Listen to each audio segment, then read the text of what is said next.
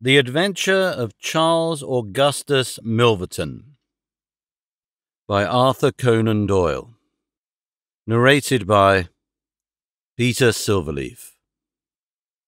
It is years since the incidents of which I speak took place, and yet it is with diffidence that I allude to them.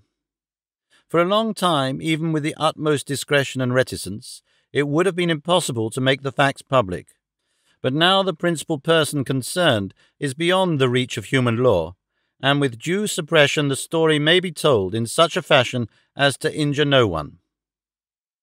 It records an absolutely unique experience in the career both of Mr. Sherlock Holmes and of myself. The reader will excuse me if I conceal the date or any other fact by which he might trace the actual occurrence. We had been out for one of our evening rambles, Holmes and I, and had returned about six o'clock on a cold, frosty winter's evening. As Holmes turned up the lamp, the light fell upon a card on the table. He glanced at it, and then, with an ejaculation of disgust, threw it on the floor. I picked it up and read Charles Augustus Milverton, Appledore Towers, Hampstead, Agent. Who is he? I asked. The worst man in London, Holmes answered as he sat down and stretched his legs before the fire. Is anything on the back of the card? I turned it over. We'll call at 6.30. C-A-M, I read.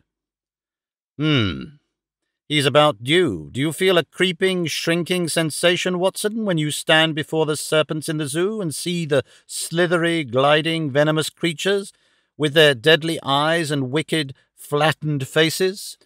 Well, that's how Milverton impresses me. I have had to do with fifty murderers in my career, but the worst of them never gave me the repulsion which I have for this fellow. And yet I can't get out of doing business with him. Indeed, he is here at my invitation. But who is he? I tell you, Watson, he is the king of all the blackmailers. Heaven help the man, and still more the woman, whose secret and reputation come into the power of Milverton. With a smiling face and a heart of marble, he will squeeze and squeeze until he has drained them dry.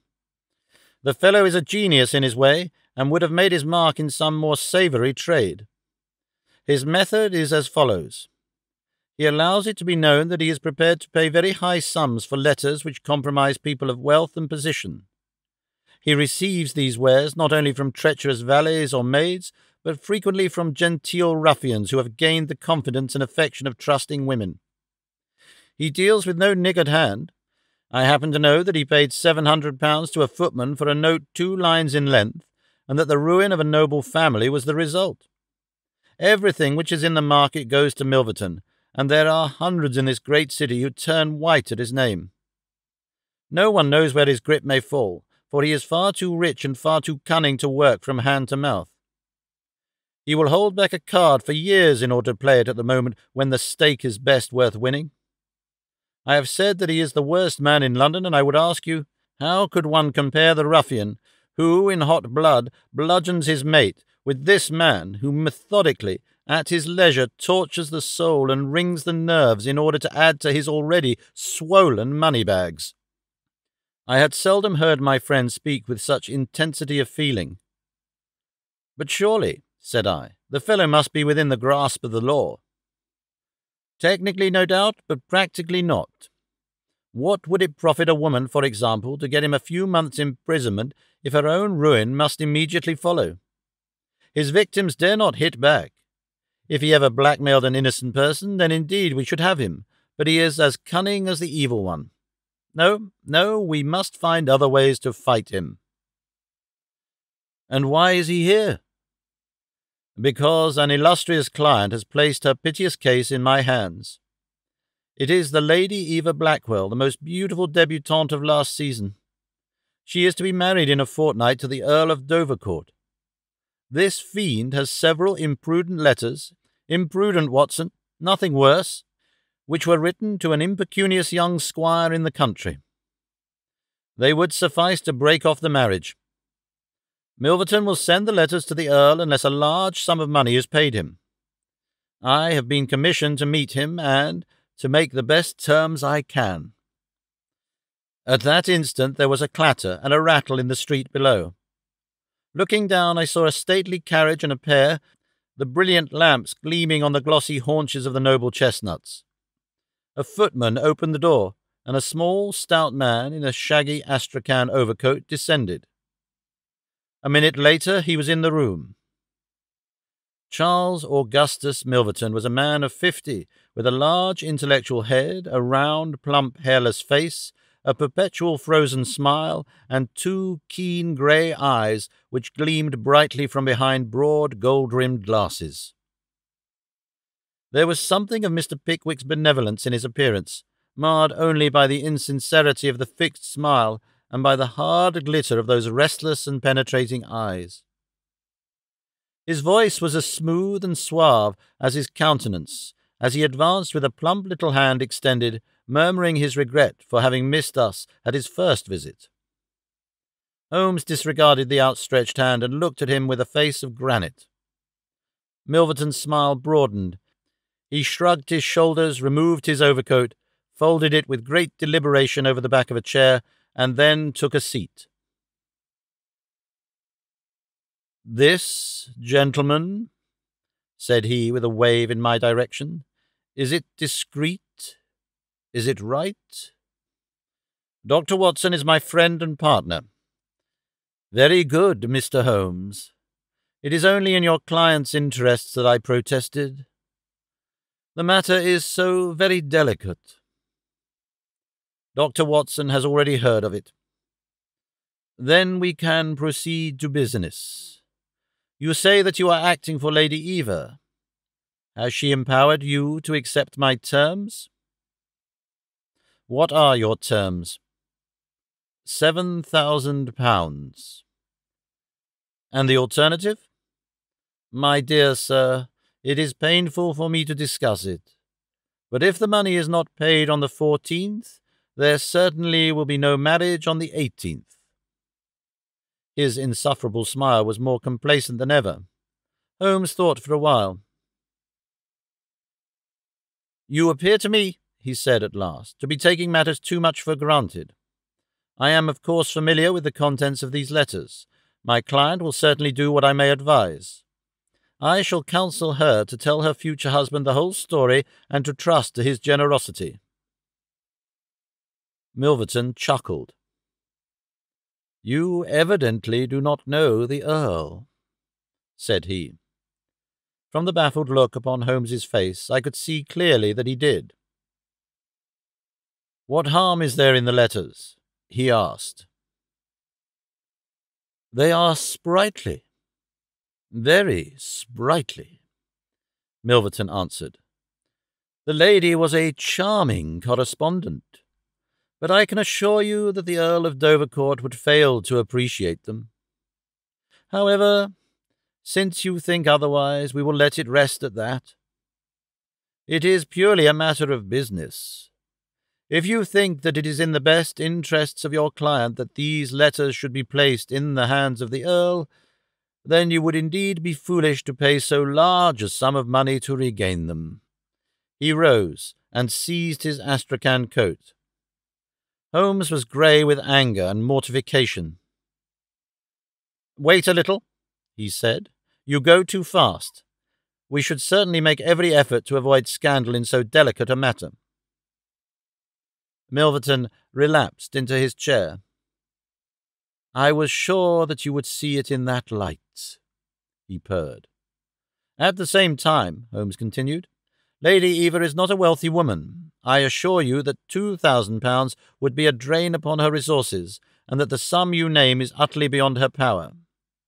I beg, therefore, that you will moderate your demands, and that you will return the letters at the price I indicate, which is, I assure you, the highest that you can get. Milverton's smile broadened, and his eyes twinkled humorously. I am aware that what you say is true about the lady's resources, said he. At the same time, you must admit that the occasion of a lady's marriage is a very suitable time for her friends and relatives to make some little effort upon her behalf. they may hesitate as to an acceptable wedding present. Let me assure them that this little bundle of letters would give more joy than all the candelabra and butter dishes in London. It is impossible, said Holmes. Dear me, dear me, how unfortunate, cried Milverton, taking out a bulky pocket-book. I cannot help thinking that ladies are ill-advised in not making an effort. Look at this. He held up a little notebook with a coat of arms upon the envelope. That belongs to. Well, perhaps it is hardly fair to tell the name until tomorrow morning. But at that time it will be in the hands of the lady's husband. And all because she will not find a beggarly sum which she could get by turning her diamonds into paste.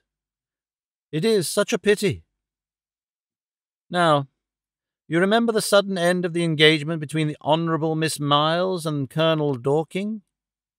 Only two days before the wedding, there was a paragraph in the Morning Post to say that it was all off. And why? It is almost incredible that the absurd sum of twelve hundred pounds would have settled the whole question. Is it not pitiful? And here I find you, a man of sense, boggling about terms, when your client's future and honour are at stake. You surprise me, Mr. Holmes.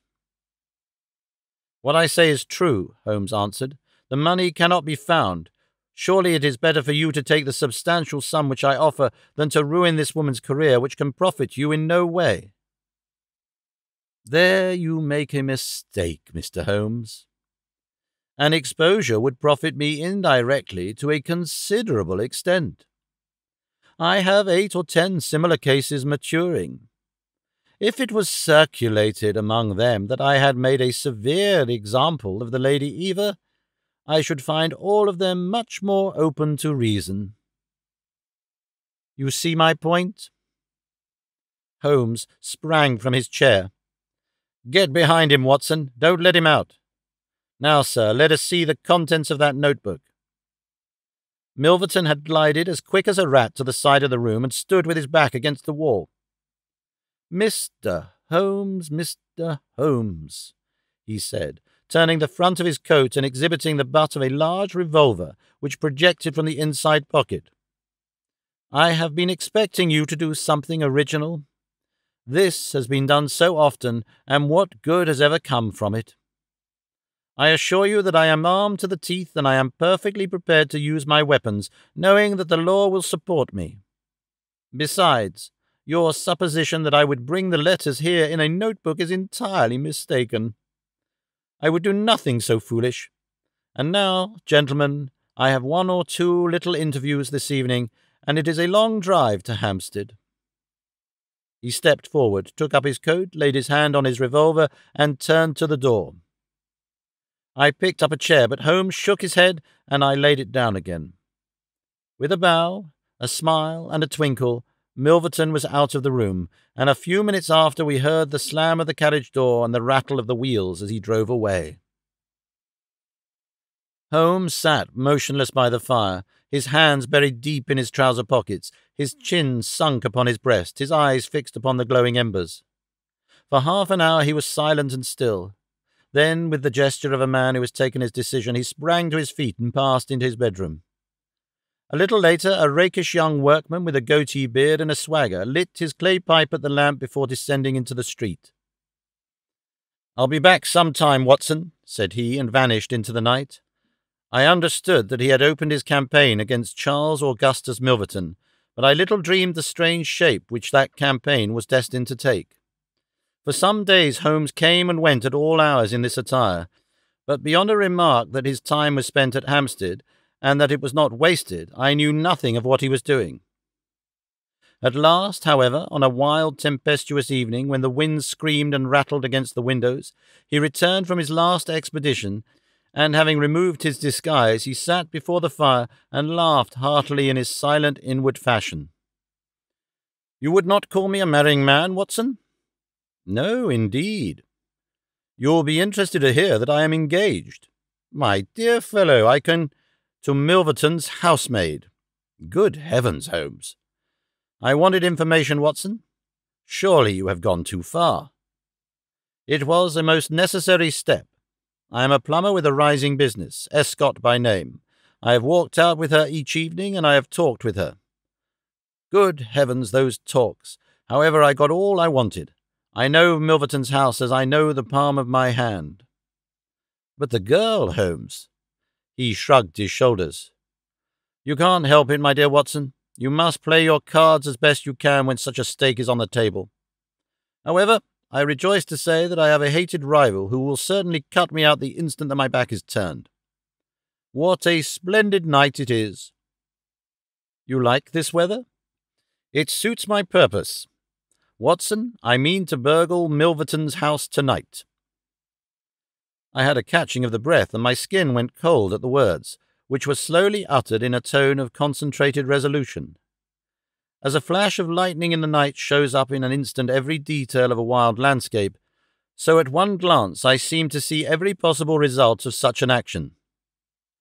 The detection, the capture, the honoured career ending in irreparable failure and disgrace, my friend himself lying at the mercy of the odious Milverton. For heaven's sake, Holmes, think what you are doing, I cried. My dear fellow, I have given it every consideration. I am never precipitate in my actions, nor would I adopt so energetic and, indeed, so dangerous a course if any other were possible. Let us look at the matter clearly and fairly. I suppose that you will admit that the action is morally justifiable, though technically criminal. To burgle his house is no more than to forcibly take his pocketbook, an action in which you were prepared to aid me. I turned it over in my mind. Yes, I said, it is morally justifiable so long as our object is to take no articles save those which are used for an illegal purpose. Exactly. Since it is morally justifiable, I have only to consider the question of personal risk. Surely a gentleman should not lay much stress upon this when a lady is in most desperate need of his help. You will be in such a false position. Well, that is part of the risk. There is no other possible way of regaining these letters. The unfortunate lady has not the money, and there are none of her people in whom she could confide. Tomorrow is the last day of grace, and unless we can get the letters tonight, this villain will be as good as his word and will bring about her ruin. I must, therefore, abandon my client to her fate, or I must play this last card. Between ourselves, Watson, it's a sporting duel between this fellow Milverton and me. He had, as you saw, the best of the first exchanges, but my self respect and my reputation are concerned to fight it to a finish. Well, I don't like it, but I suppose it must be, said I. When do we start? You are not coming. Then you are not going, said I. I give you my word of honour, and I never broke it in my life, that I will take a cab straight to the police station and give you away unless you let me share this adventure with you. You can't help me. How do you know that? You can't tell what may happen. Anyway, my resolution is taken. Other people besides you have self respect and even reputations. Holmes had looked annoyed, but his brow cleared and he clapped me on the shoulder. Well, well, my dear fellow, be it so. We have shared this same room for some years, and it would be amusing if we ended up sharing the same cell. You know, Watson, I don't mind confessing to you that I have always had an idea that I would have made a highly efficient criminal. This is the chance of my lifetime in that direction. See here.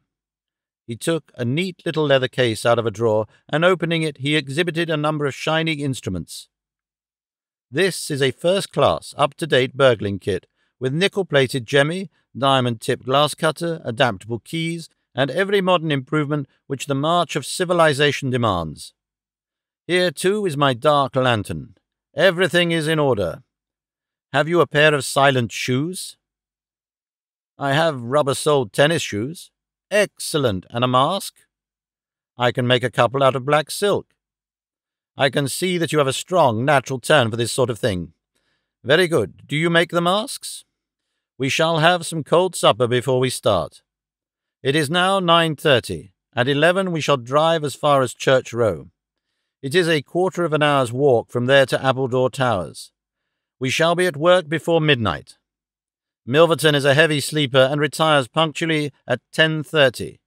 With any luck, we shall be back here by two with the Lady Eva's letters in my pocket. Holmes and I put on our dress clothes so that we might appear to be two theatre goers homeward bound. In Oxford Street, we picked up a hansom and drove to an address in Hampstead. Here we paid off our cab, and with our great coats buttoned up, for it was bitterly cold and the wind seemed to blow through us, we walked along the edge of the heath. It's a business that needs delicate treatment, said Holmes. These documents are contained in a safe in the fellow's study, and the study is the anteroom of his bedchamber. On the other hand, like all these stout little men who do themselves well, he is a plethoric sleeper. Agatha, that's my fiancée, says it is a joke in the servants' hall that it's impossible to wake the master. He has a secretary who is devoted to his interests and never budges from the study all day. That is why we are going at night. Then he has a beast of a dog which roams the garden. I met Agatha late the last two evenings, and she locks the brute up so as to give me a clear run. This is the house, this big one, in its own grounds. Through the gate, now to the right among the laurels. We might put on our masks here, I think. You see, there is not a glimmer of light in any of the windows, and everything is working splendidly. With our black silk face coverings, which turned us into two of the most truculent figures in London, we stole up to the silent, gloomy house. A sort of tiled veranda extended along one side of it, lined by several windows and two doors. That's his bedroom, Holmes whispered. This door opens straight into the study. It would suit us best, but it is bolted as well as locked, and we should make too much noise getting in. Come round here. There's a greenhouse which opens into the drawing room. The place was locked, but Holmes removed a circle of glass and turned the key from the inside. An instant afterwards, he had closed the door behind us, and we had become felons in the eyes of the law. The thick, warm air of the conservatory and the rich, choking fragrance of exotic plants took us by the throat. He seized my hand in the darkness and led me swiftly past banks of shrubs which brushed against our faces. Holmes had remarkable powers, carefully cultivated, of seeing in the dark. Still holding my hand in one of his, he opened a door, and I was vaguely conscious that we had entered a large room in which a cigar had been smoked not long before. He felt his way among the furniture, opened another door, and closed it behind us. Putting out my hand, I felt several coats hanging from the wall, and I understood that I was in a passage. We passed along it, and Holmes very gently opened a door upon the right hand side. Something rushed out at us, and my heart sprang into my mouth, but I could have laughed when I realized that it was the cat. A fire was burning in this new room, and again the air was heavy with tobacco smoke. Holmes entered on tiptoe, waited for me to follow, and then very gently closed the door. We were in Milverton's study, and a portiere at the farther side showed the entrance to his bedroom. It was a good fire, and the room was illuminated by it. Near the door I saw the gleam of an electric switch, but it was unnecessary, even if it had been safe to turn it on. At one side of the fireplace was a heavy curtain which covered the bay window we had seen from the outside. On the other side was the door which communicated with the veranda. A desk stood in the centre, with a turning chair of shining red leather. Opposite was a large bookcase, with a marble bust of Athene on the top. In the corner, between the bookcase and the wall, there stood a tall green safe, the firelight flashing back from the polished brass knobs upon its face.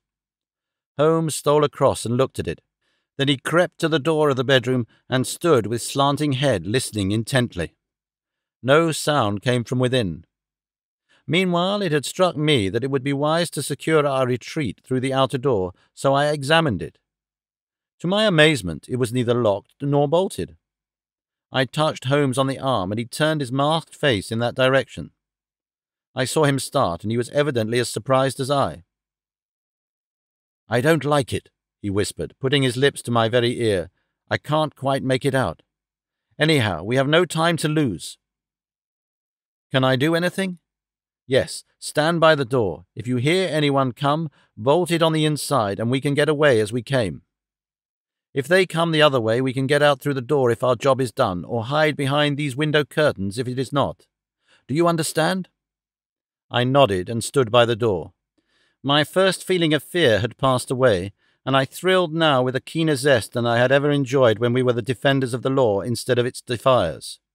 The high object of our mission, the consciousness that it was unselfish and chivalrous, the villainous character of our opponent, all added to the sporting interest of the adventure. Far from feeling guilty, I rejoiced and exulted in our dangers. With a glow of admiration, I watched Holmes unrolling his case of instruments and choosing his tool with the calm, scientific accuracy of a surgeon who performs a delicate operation. I knew that the opening of safes was a particular hobby with him, and I understood the joy which it gave him to be confronted with this green and gold monster, the dragon which held in its maw the reputations of many fair ladies. Turning up the cuffs of his dress coat, he had placed his overcoat on a chair. Holmes laid out two drills, a jemmy, and several skeleton keys. I stood at the centre of the door with my eyes glancing at each of the others, ready for any emergency, though, indeed, my plans were somewhat vague as to what I should do if we were interrupted. For half an hour, Holmes worked with concentrated energy, laying down one tool, picking up another, handling each with the strength and delicacy of the trained mechanic. Finally, I heard a click. The broad green door swung open, and inside I had a glimpse of a number of paper packets, each tied, sealed, and inscribed. Holmes picked out one, but it was as hard to read by the flickering fire, and he drew out his little dark lantern, for it was too dangerous, with Milverton in the next room, to switch on the electric light. Suddenly I saw him halt, listen intently, and then in an instant he had swung the door of the safe to, picked up his coat and stuffed his tools into the pockets, and darted behind the window curtain, motioning me to do the same. It was only when I had joined him there that I heard what had alarmed his quicker senses. There was a noise somewhere within the house. A door slammed in the distance. Then a confused, dull murmur broke itself into the measured thud of heavy footsteps, rapidly approaching. They were in the passage outside the room. They paused at the door. The door opened. There was a sharp snick as the electric light was turned on. The door was closed once more, and the pungent reek of a strong cigar was borne to our nostrils. Then the footsteps continued backward and forward, backward and forward, within a few yards of us. Finally, there was a creak from a chair, and the footsteps ceased. Then a key clicked in a lock, and I heard the rustle of papers. So far I had not dared to look out, but now I gently parted the division of the curtains in front of me and peeped through. From the pressure of Holmes's shoulder against mine, I knew that he was sharing my observations. Right in front of us, and almost within our reach, was the broad, rounded back of Milverton. It was evident that we had entirely miscalculated his movements, that he had never been to his bedroom, but that he had been sitting up in some smoking or billiard room in the farther wing of the house, the windows of which we had not seen. His broad, grizzled head, with its shining patch of baldness, was in the immediate foreground of our vision. He was leaning far back in the red leather chair, his legs outstretched, a long black cigar projecting at an angle from his mouth. He wore a semi military smoking jacket, claret coloured, with a black velvet collar. In his hand he held a long legal document which he was reading in an indolent fashion, blowing rings of tobacco smoke from his lips as he did so. There was no promise of a speedy departure in his composed bearing and his comfortable attitude. I felt Holmes' hand steal into mine and give me a reassuring shake, as if to say that the situation was within his powers and that he was easy in his mind. I was not sure whether he had seen what was only too obvious from my position that the door of the safe was imperfectly closed, and that Milverton might at any moment observe it. In my own mind, I had determined that if I were sure, from the rigidity of his gaze, that it had caught his eye, I would at once spring out, throw my great coat over his head, pinion him, and leave the rest to Holmes. But Milverton never looked up. He was languidly interested by the papers in his hand, and page after page was turned as he followed the argument of the lawyer. At least, I thought, when he has finished the document and the cigar, he will go to his room. But before he had reached the end of either, there came a remarkable development which turned our thoughts into quite another channel. Several times I had observed that Milverton looked at his watch, and once he had risen and sat down again with a gesture of impatience. The idea, however, that he might have an appointment at so strange an hour never occurred to me until a faint sound reached my ears from the veranda outside. Milverton dropped his papers and sat rigid in his chair. The sound was repeated, and then there came a gentle tap at the door. Milverton rose and opened it. Well, said he curtly, you are nearly half an hour late. So this was the explanation of the unlocked door and of the nocturnal vigil of Milverton. There was the gentle rustle of a woman's dress. I had closed the slit between the curtains as Milverton's face had turned in our direction, but now I ventured very carefully to open it once more. He had resumed his seat, the cigar still projecting at an insolent angle from the corner of his mouth. In front of him, in the full glare of the electric light, there stood a tall, slim, dark woman, a veil over her face, a mantle drawn round her chin. Her breath came quick and fast, and every inch of the lithe figure was quivering with strong emotion. Well, said Milverton, you made me lose a good night's rest, my dear. I hope you'll prove worth it. You couldn't come any other time, eh? The woman shook her head. Well, if you couldn't, you couldn't. If the Countess is a hard mistress, you have your chance to get level with her now. Bless the girl. What are you shivering about? That's right. Pull yourself together. Now, let us get down to business. He took a notebook from the drawer of his desk. You say that you have five letters which compromise the Countess d'Albert. You want to sell them. I want to buy them. So far, so good? It only remains to fix a price. I should want to inspect the letters, of course. If they are really good specimens. Great heavens! Is it you? The woman, without a word, had raised her veil and dropped the mantle from her chin. It was a dark, handsome, clear cut face which confronted Milverton. A face with a curved nose, strong dark eyebrows shading hard, glittering eyes, and a straight, thin lipped mouth set in a dangerous smile. It is I, she said, the woman whose life you have ruined. Milverton laughed, but fear vibrated in his voice. You were so very obstinate, said he. Why did you drive me to such extremities? I assure you I wouldn't hurt a fly of my own accord, but every man has his business, and what was I to do? I put the price well within your means. You would not pay. So you sent the letters to my husband, and he, the noblest gentleman that ever lived, a man whose boots I was never worthy to lace, he broke his gallant heart and died. You remember that last night when I came through that door? I begged and prayed you for mercy, and you laughed in my face as you are trying to laugh now, only your coward heart cannot keep your lips from twitching.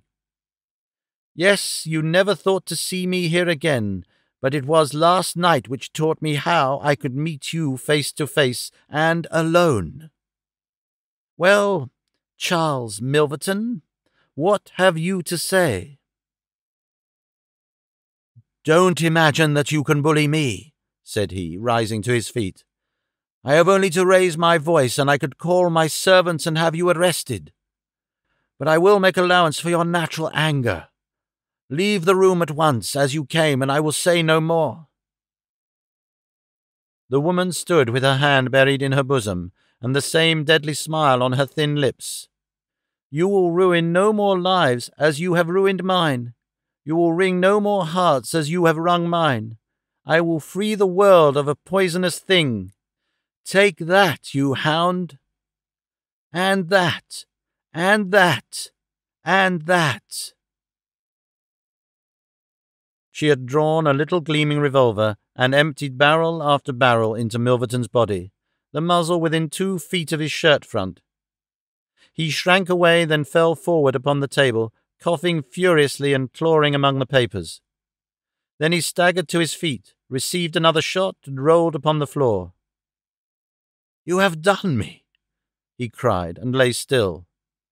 The woman looked at him intently and ground her heel into his upturned face. She looked again, but there was no sound or movement. I heard a sharp rustle, the night air blew into the heated room, and the Avenger was gone. No interference upon our part could have saved the man from his fate, but as the woman poured bullet after bullet into Milverton's shrinking body, I was about to spring out when I felt Holmes's cold, strong grasp upon my wrist. I understood the whole argument of that firm, restraining grip. That it was no affair of ours, that justice had overtaken a villain, that we had our own duties and our own objects, which were not to be lost sight of.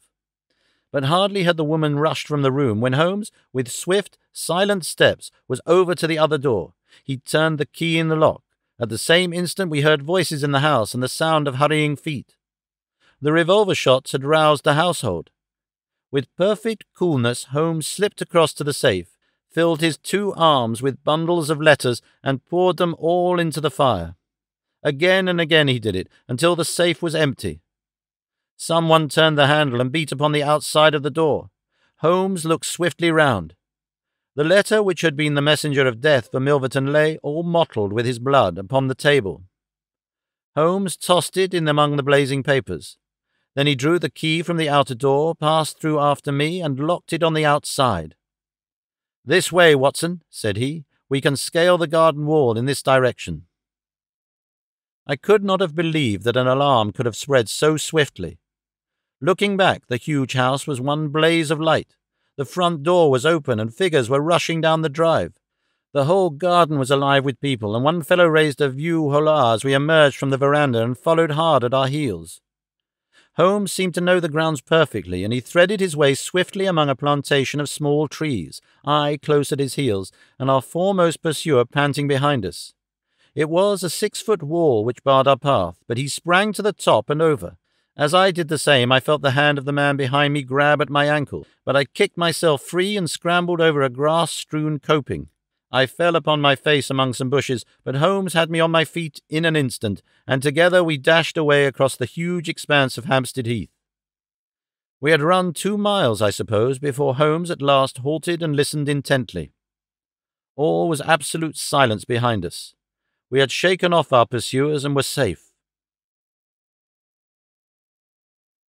We had breakfasted and were smoking our morning pipe on the day after the remarkable experience which I have recorded, when Mr. Lestrade of Scotland Yard, very solemn and impressive, was ushered into our modest sitting room. Good morning, Mr. Holmes, said he. Good morning. May I ask if you are busy just now? Not too busy to listen to you, I thought that perhaps if you had nothing particular on hand, you might care to assist us in a most remarkable case which occurred only last night at Hampstead. Dear me, said Holmes, what was that? A murder. A most dramatic and remarkable murder. I know how keen you are upon these things, and I would take it as a great favour if you would step down to Appledore Towers and give us the benefit of your advice.